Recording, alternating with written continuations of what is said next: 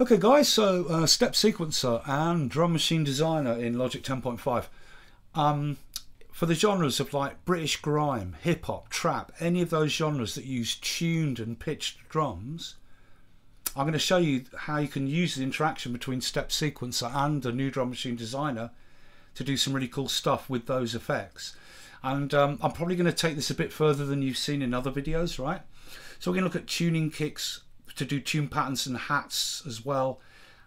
But not, we're not going to just tune the kicks. We're going to do things where the kicks can have short little notes and really long booming notes and things like that. And we're also going to look at kick slides and all that business, right? Okay. So look, I've got a basic pattern here.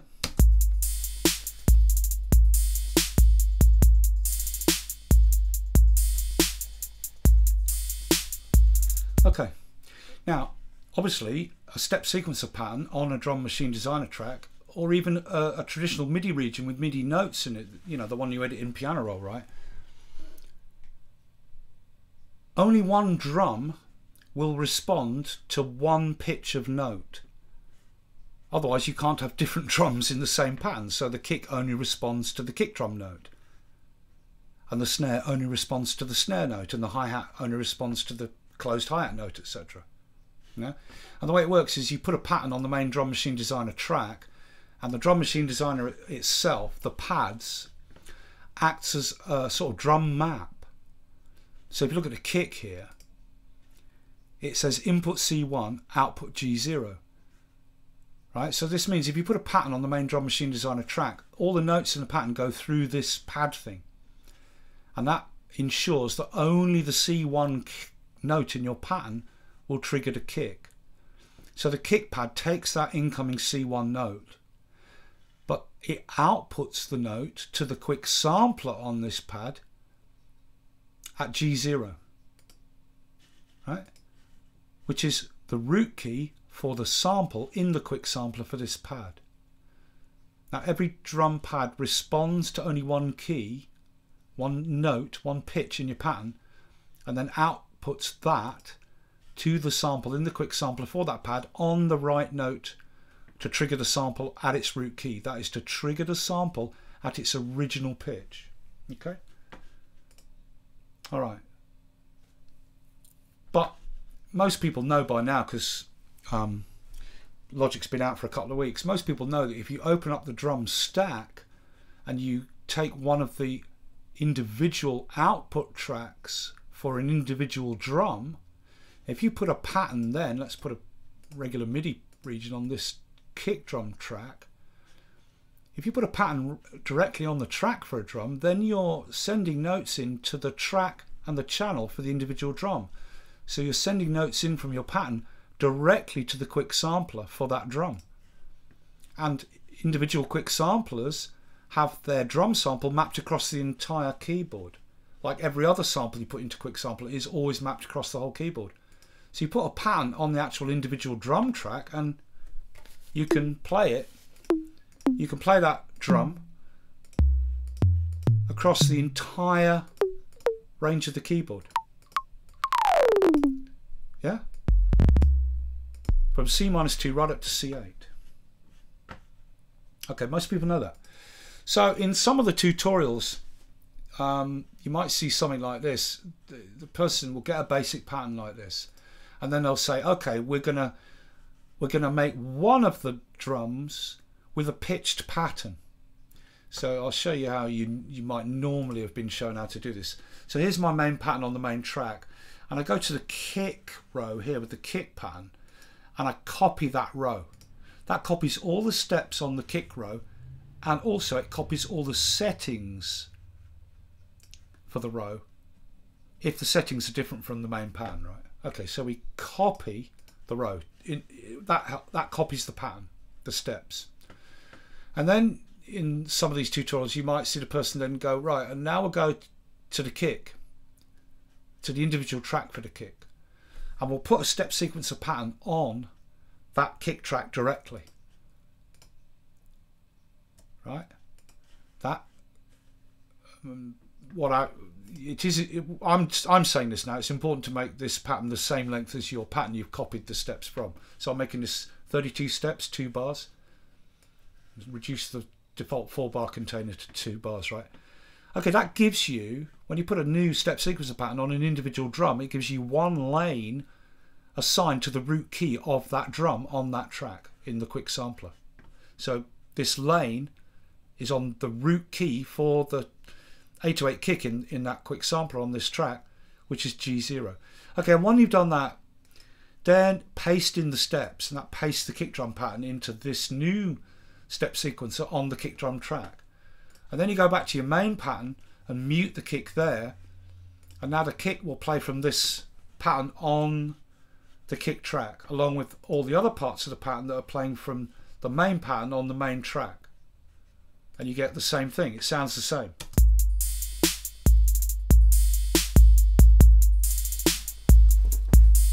Okay, but when it then comes to tuning, um, what you might be told is, okay, now what we do is we right click and or control click, depending on how your mouse is set up. My mouse is set up to right click for the toolbox. You bring up the shortcut menu on that step sequencer pattern on the kick track that you just pasted the kick pattern into and convert it to MIDI. Okay, now you can get the notes and tune them to anything you want. All that business. Yeah, you can do that. But there's no actual need to convert to a MIDI pattern like that, to a traditional MIDI pattern. If you stay with the step sequencer pattern, you can still do all the pitch stuff and more in step sequencer. So let me show you that, right? So what we do is, all we do is just zoom in so we can really see this. We switch to note, and there's all the steps on the pitch for the kick drum, G0, but we can adjust the pitch of every step. We don't need to convert it to a MIDI pan. Yeah. And if you need to change the octave, you just go to octave and for all rows, use the arrows here to click the up arrow and go up an octave. Now all those notes are an octave higher. Or go down an octave and now they're all an octave lower. Okay, I'll put it back to the original octave. So all those notes are now on G0 again. But I can now do my pitch stuff, right? So um, I'll start with the original pitch for that note. Then I'll go down to A sharp 1.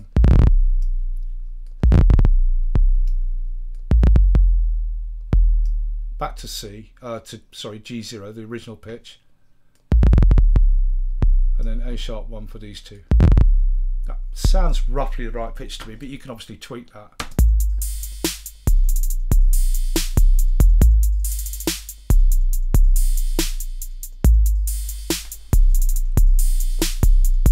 Yeah, straight away I've got a pitched pattern. But we can go further. We can go much further than that. Check this out.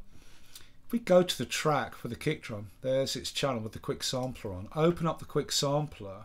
Let me just slow this down so you can see the pattern as well. Every quick sampler for every drum in drum machine in a drum machine designer kit is set to one shot, which means that even the shortest little note will trigger the sample to play all the way till the end. That's how it normally is with drum machines and drum boxes and samplers loading up drum sets, you always put drums into one shot. So tiny little notes will trigger the, the drum sample all the way through. But if you switch it to classic, now the note length determines how long the sample plays down its length. Now this is a long booming 808 kick that lasts about 1.8 seconds. These are little 16th length notes, the same length as the step value that they're sitting on. So now we switch this kick drum to classic mode, these little 16th notes are only going to trigger the sample to play back about that far down its length. Watch the little playhead when it triggers. Yeah, only playing till about here. And then as soon as the note ends, it cuts off completely. So what you do is you go to the envelope here set it to ADSR.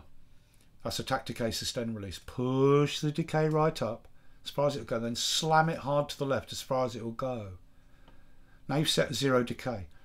And now just bring the release out to about 150 milliseconds thereabouts. That's just over a tenth of a second. And that means when these little short 16th notes trigger this kick to that point and then it just stops, the sound of the kick won't suddenly just stop. It will decay away. It'll have a little bit of decay to silence at the time of the release here, which as I said, I've set to just over, that's a tenth and a half of a tenth of a second, right? Um, okay, so now these little short notes are going to trigger the kick to about there, but when the note ends and the sample stops, it will just decay away a little bit. Sounds a bit more natural. Now we've got short little 808 kicks. But now we can go to tie and we can tie the steps together to make some of the kicks long and some of them short. So we're not only getting a tuned pattern, but we can have kicks at different lengths in our pattern. So I'll tie those first one, two, three, four, five sixteenths together. So now this kick drum note is going to last five sixteenths. That's a whole quarter note and another sixteenth. This is going to give me a long kick. And I'll do the same there and the same here. I'm going to make that one even longer. I'm going to make this a quarter beat and an eighth, two more sixteenths. Now we're going to get long kicks, short, short, short, short, long, short, even longer.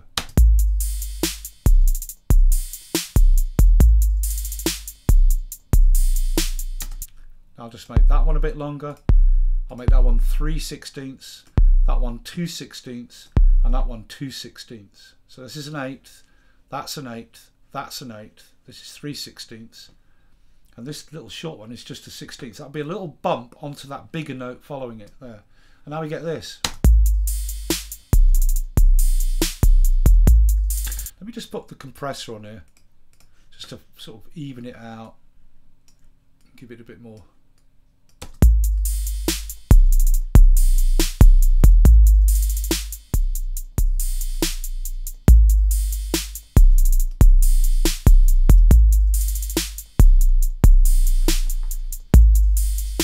So now we've got not only a tune pattern at any time we want to, we can obviously go in back to note and retune those steps. You know, they could be anything you want.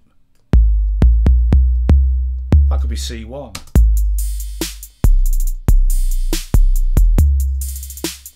You know, whatever you like.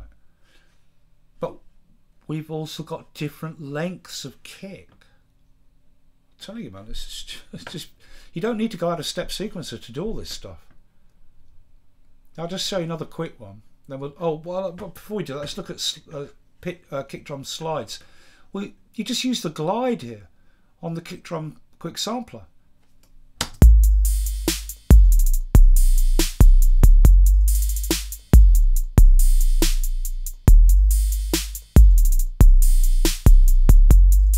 And however long that glide is in milliseconds, that's half a second, 500 milliseconds, right? That's how long it'll take for the note to pitch up or pitch down.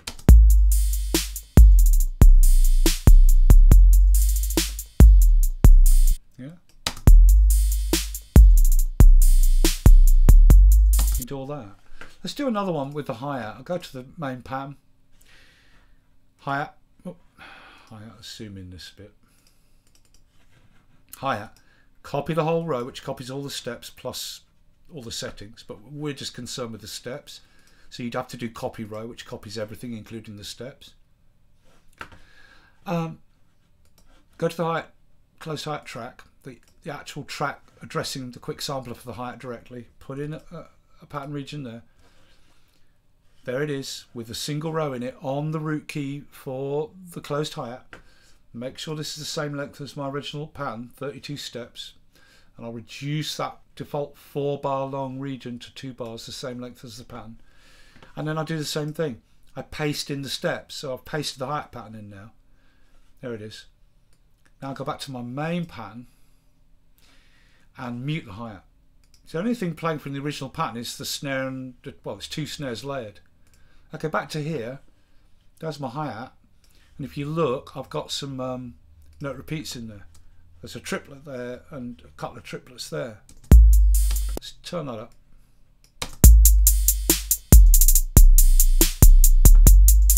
So I'll put some.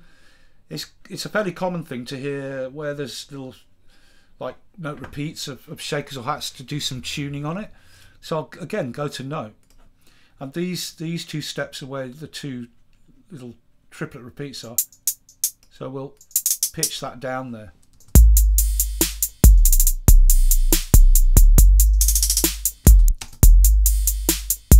And that one as well. I'll pitch the one after it so they climb back up.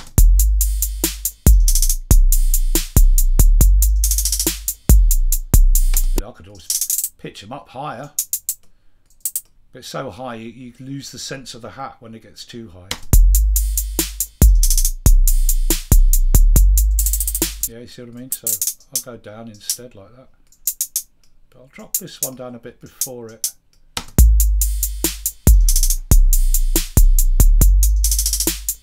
Yeah, whatever you like, right? So there.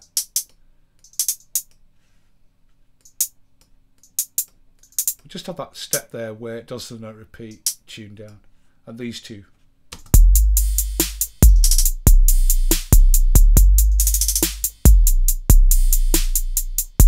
Yeah, easy peasy.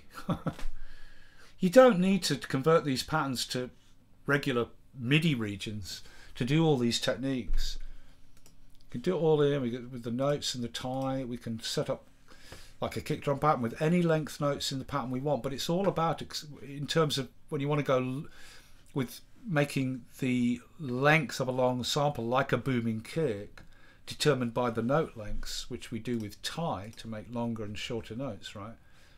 You must put the sample, the sampler for that drum track, the individual drum track, you must put it into classic mode.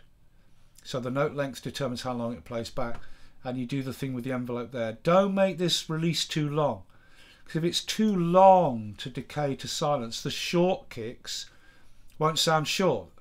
They'll go, they'll trigger to there, and then this will still decay all the way further down. So make the decay just you tune it, you listen. If it's too short, if it's too short, the shorter kicks will sound unnatural. So you want just enough release that you, you can hear the drum decaying but not too long a release so that it decays for too long and then you lose the shorter notes.